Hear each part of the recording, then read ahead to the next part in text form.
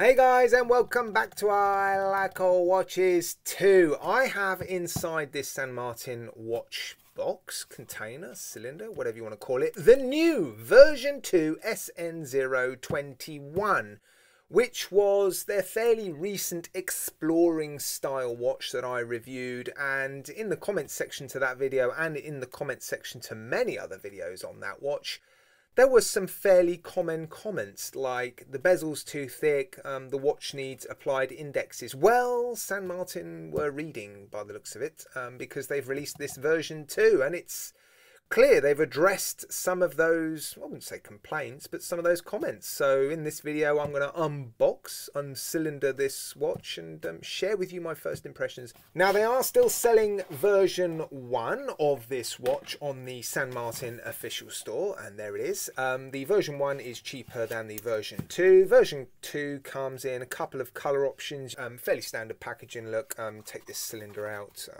let me show you the inside. Easier said than done. Oh, there you go. All your paperwork falls out, and there's some, you know, bits and pieces in there as well. So uh, let's just take a look at the watch. That's what we're here for, isn't it? Uh, right, there's uh, plastic on it. Let me um, get that off. I'll be back in a mo. Right, there we go. Um, all I've done is removed the plastic, and um, as you can see, I'm giving it a little wipe. You can see that blue AR coating already. Um, so it's not clear AR coating, it's blue on this particular watch. Right. Now here it is. So, uh, yes, I can definitely see some of the changes actually already. Um, the crystal looks different, the case looks different, the end links look a little bit different. Um, yeah, and obviously you've got those applied indexes. I'm pretty much doing the comparison now, aren't I? Um, but anyway, let me uh, just share with you my first impressions. I like it. I was a huge fan of the first one actually. Um, the first one surprised me when it arrived. Um, I wasn't expecting to like it as much, and I think it was partly down to the fact that the lume or the numerals um, markers on the first one were printed on the dial. Um, I love the original Rolex or the Rolex Explorer. It's one of my favourite case shapes and styles. So when the exploring style watches um, have turned up from San Martin, um, they've just sort of missed the mark a little bit, really, for me. But this one looks, yeah, well, for me anyway, the best they've um, they've done so far.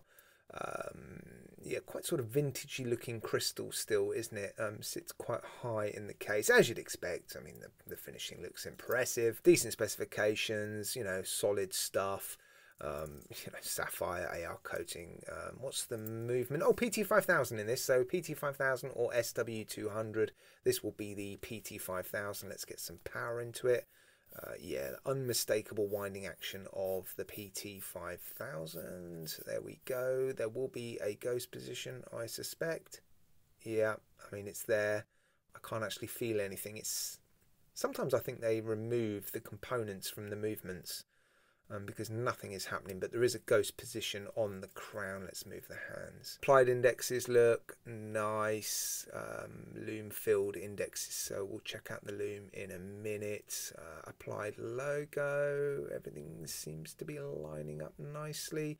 Closer look at the finishing on the case then, looks nice. Circular brushing on the lugs, longitudinal brushing on the bracelet bit of a mismatch actually in the grain, isn't there? Um, you do tend to find that with watches that have circular brushing on the lugs. It tends to be a bit more coarse than the very fine satin brushing that you're seeing on the um, links there. But um, I sometimes wonder if that's intentional. Bit of a gap on the end links, but it feels all right. I'm, I'm zoomed in quite a bit, aren't I?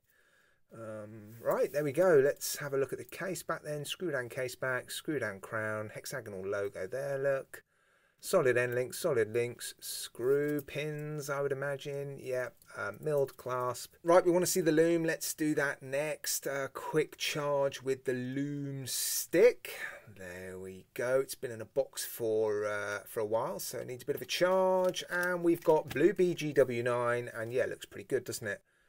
Um, I will uh, include this watch in a lume comparison video on I Like Watches too, so don't forget to come and check that out, guys. Right, let's move on and get it on the wrist. And here it is on my seven and a quarter inch ish wrist. Yep, looks pretty good. I'm happy with that. Um, yeah, what a difference it makes having applied indexes to this watch. I much prefer that, I've got to say. And I do think the other changes they've made are improvements. Um, there were quite a few people asking for those changes, and I'm thrilled that they're listening or reading anyway. Um, yeah, that's great news. Just shows how important it is to feedback after these videos. So please do, guys, let me know what you think of this watch or any other San Martin watch for that matter um, in my comments section. And hopefully we'll get the watches that we all really, really want. Right, um, yeah, let's wrap this up, I think. Thank you, as always, guys, for tuning in and watching my videos. I do really appreciate it. Uh, don't forget to come back for the comparison between this and the version 1 on Like Watches, which will be going live before the March sale. Cheers, guys. Take care. Look after yourselves. You'll see me again very, very soon.